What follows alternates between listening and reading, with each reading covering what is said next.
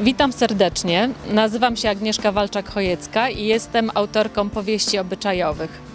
Dzisiaj jest mi niezwykle miło gościć w Słupsku, w pięknym mieście, na zaproszenie Biblioteki Miejskiej e, w Słupsku E, i będę miała przyjemność poprowadzić, czy właściwie być e, gościem na spotkaniu w Spichlerzu gdzie opowiem o mojej najnowszej powieści, która ukazała się niedawno nakładem wydawnictwa e, Filia. Jest to powieść pod tytułem Nieczasna miłość, pierwszy tom sagi bałkańskiej. To książka, która opowiada o niezwykłym uczuciu, które nie powinno się zdarzyć. Dlaczego? Bo on jest Serbem, ona jest Chorwatką, a wokół nich e, szalejąca wojna w Bośni i Hercegowinie.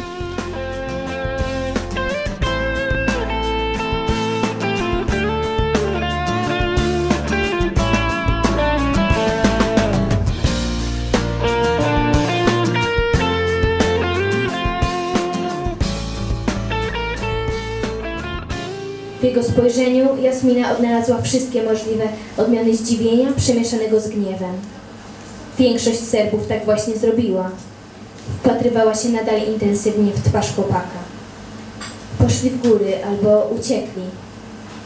Oczywiście nie wszyscy, bo na przykład Diwiak został. Rzecz rozgrywa się głównie w oblężonym Sarajewie, ale częściowo też akcja toczy się w Polsce.